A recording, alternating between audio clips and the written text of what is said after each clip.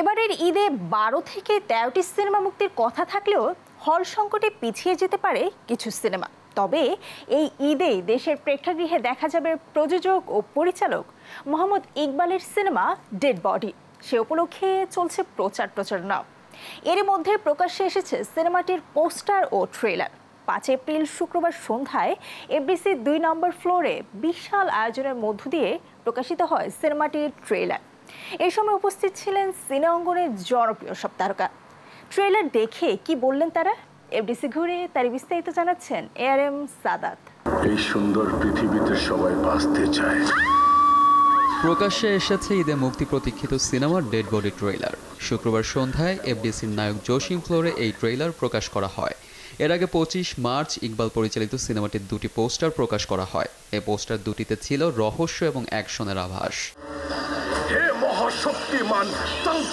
তবে এবার ট্রেলারে দেখা গেছে ভৌতিক গল্পের জমজমাট এক সিনেমা হতে চলেছে ডেড বডি সেই সঙ্গে আছে অ্যাকশন এবং রোম্যান্সও এছাড়া ট্রেলারের সঙ্গে দেখানো হয় সিনেমার চমৎকার দুটি রোম্যান্টিক মেলোডি সং আমি যেদিকে তাকাচ্ছি পচা গলার লাশ সব আমার দিকে পাঁচ এপ্রিল শুক্রবার সন্ধ্যায় এফডিসির দুই নম্বর ফ্লোরে বিশাল আয়োজনের মধ্য দিয়ে প্রকাশ করা হয় সিনেমাটির ট্রেলার ও গান।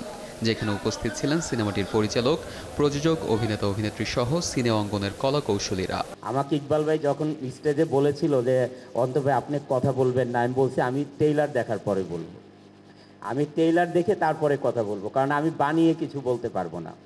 এই জন্য আমি টেইলারটা দেখেছি সত্যিকারে অসাধারণ একটা টেইলার ছবিটা অবশ্যই ভালো হবে। হরর মুভি আমার কাছে মনে হয় যে যারা ইয়াং জেনারেশন তারা খুব পছন্দ করে এই টাইপের গল্প দেখতে। আর একটা জিনিস, আমরা যখন কোনো সিনেমার ট্রেজার দেখি বা ট্রেলার দেখি তখন কিন্তু বোঝা যায় যে এই সিনেমার গল্পটা কি হতে যাচ্ছে বা গল্পটা কেমন।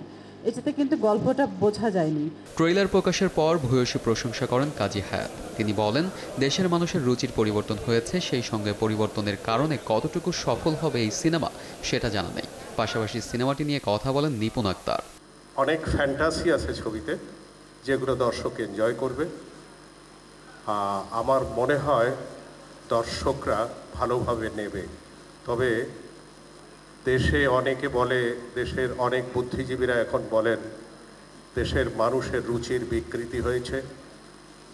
রুচির পরিবর্তন হয়েছে, অনেক কিছু বলে। সেই সব রুচির বিকৃতি এবং পরিবর্তনের মধ্যে কতটুকু সাকসেস হতে পারবে আমি জানি না, তবে আমার সমস্ত আশীর্বাদ এবং দোয়া রইল ইকবালের প্রতি। খুব সুন্দর একটা ট্রেলার দেখলাম, খুব সুন্দর। আমার খুবই ভালো লেগেছে। মানে হরর ছবি বলতে আসলে আমরা প্রথম একটা যা ছবি দেখলাম, মনে হয় এটাই প্রথম কোনো হরর ছবি বাংলাদেশে দেখে হলে বসে আমরা অনেক আরাম পাবো। এবং আপনি আরেকজন আর্টিস্টকে নিয়েছেন, শ্যামল মাওলা। অনেক অনেক অনেক ভালো অভিনয় করেছে। ওনাকে দেখে ভালো লাগল। ডেড বডি সিনেমায় দেখা যাবে সময়ের জনপ্রিয় অভিনেতা শ্যামল মাওলাকে তিনি এখানে বেশ চ্যালেঞ্জিং একটি চরিত্রে হাজির হবেন।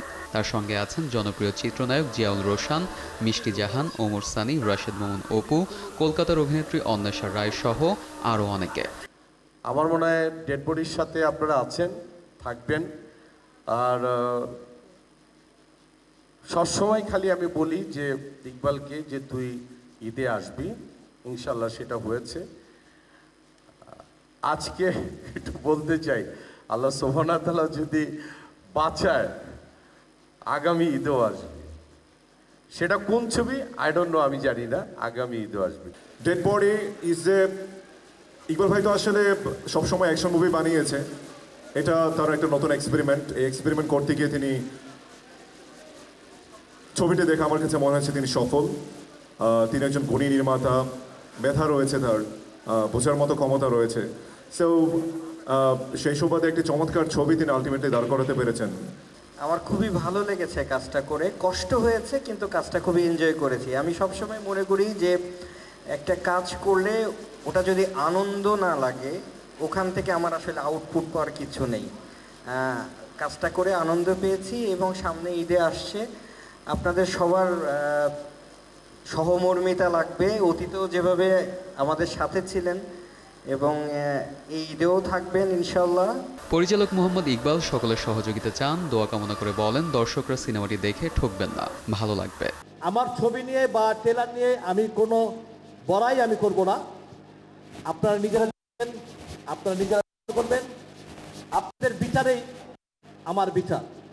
যদি ছবি আপনারা হলে যে যদি মনে করেন যে ছবি খারাপ হয়েছে আমাকে অবশ্যই আপনারা বকা দিবেন। কিন্তু বিশ্বাস করেন মন থেকে বলতেছি ছবিটা আমি একবার না বেশ কয়েকবার ছবিটা দেখছি। আপনাদের মন জুড়ে যাবে এই ছবিটা দেখে। এছাড়া উক্ত অনুষ্ঠানে উপস্থিত ছিলেন মিশা সৌদাগর মাহমুদ কলি সহ আরও অনেকে। সবাই ডেড বডি সিনেমার জন্য শুভকামনা জানান এবং দর্শকদের হলে যেয়ে সিনেমা দেখার অনুরোধ করেন। বন্যার আত্মা আমাকে বলেছে। এই ভূত পেতনি আত্মা বলে কিছু নেই। এ আর এম সাদাত দেশ বিনোদন।